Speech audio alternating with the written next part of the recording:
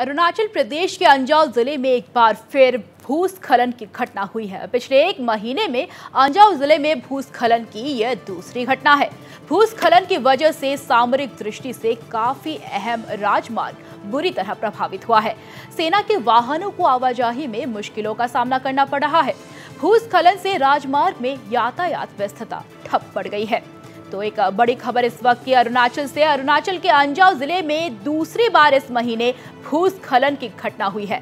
जी हाँ, दूसरी बार ये भूस्खलन की घटना यहाँ सामने आई है और भूस्खलन की वजह से सामरिक दृष्टि से काफ़ी अहम राजमार्ग अब बुरी तरह प्रभावित हो चुका है और इसी के कारण सेना के वाहनों को आवाजाही में मुश्किलों का सामना करना पड़ रहा है। वहीं आम जनजीवन भी यातायात की व्यवस्था में वहाँ ठप पड़ती हुई नज़र आ रही है।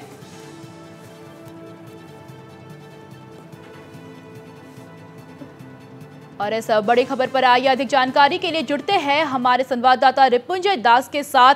जी रिपुंजय, एक महीने में दूसरी बार भूस्खलन की घटना अंजाव ज़िले से क्या है परिस्थिति वहाँ फ़िलहाल और क्या कदम उठाए जा रहे हैं इसे काबू में लाने के लिए? क्योंकि ये दूसरी बार हो रहा है, ये छोटी बात नहीं है।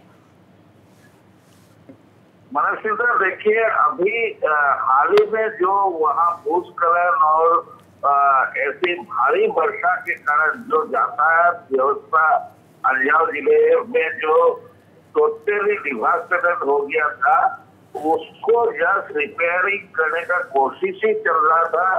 कई कई जगह में हालाँकि थोड़ा थोड़ा बहुत रिपेयरिंग करके छोटी वाहनों का आगमन आवाजवन शुरू कर दिया गया था। लेकिन फिर से भारी वर्षा आप देख सकते हैं वीडियो में किस तरीके से भारी बारिश की वजह से उस ज़िले में फिर से बहुत ही खराब परिस्थिति शुरू हो गई है और वहाँ में फिर से भूस्खलन और रास्ते किस तरीके से कट गए हैं, पेड़ गिरे हुए हैं रस्तों में और जो वहाँ के जो वर्कर्स है, वो इसको अभी कुछ कर नहीं पा रहे। आप देख सकते किस तरीके से जो रस्ते हैं वो एकाएक नदियाँ की तरह बहने लगी है, उनमें से पानी।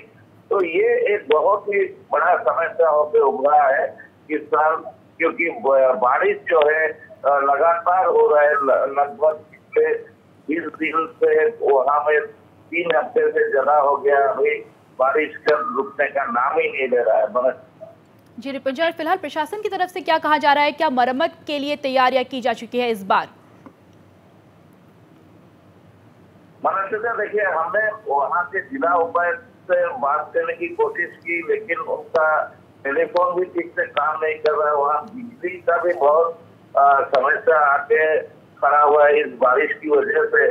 तो जहाँ तक हमें जानकारी मिली है वहाँ प्रशासन ने अभी आ, कुछ आज सुबह थोड़ा बहुत समय के लिए जब बारिश रुका था तब कुछ करने की कोशिश की लेकिन फिर से बारिश शुरू हो जाने से जितने भी ऐसे काम जो रेस्टोरेशन वर्कर जो सब पूरे दिन भर के लिए स्थगित करना पड़ा।